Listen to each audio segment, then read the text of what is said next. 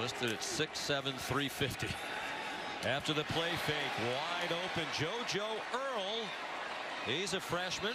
That's his first career catch, and he took it inside the 20 for his quarterback. A lot of starters. It's a team that beat Iowa State, and we knew how good they were. Made it to the Big 12 championship game. Beat them in the opener a year ago.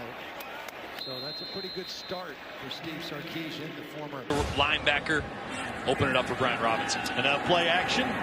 Young finds JoJo Earle. A little stiff arm. Why does Nick Saban like this guy so much? Well, he press it and open up the hole. Pressure from the edge this time. Young eludes it. One foot throw. Here's JoJo Earle. And he stays on his feet for a Bama first down inside the five.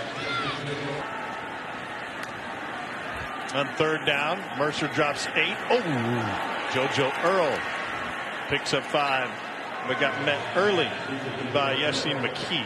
a personnel grouping right now. Here's Earle. Latu in one block, couldn't get in front of two, and Lance Wise in with the stop.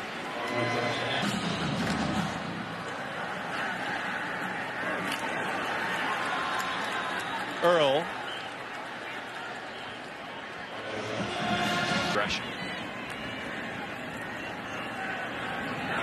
Nice slant. JoJo Earle gets outside the numbers, and he's got another Alabama first down. That's on 19 yards.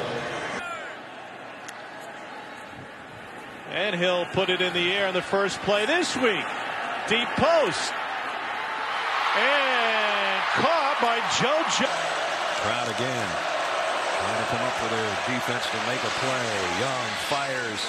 Incomplete intended for Earle and broken up at the last second. Will.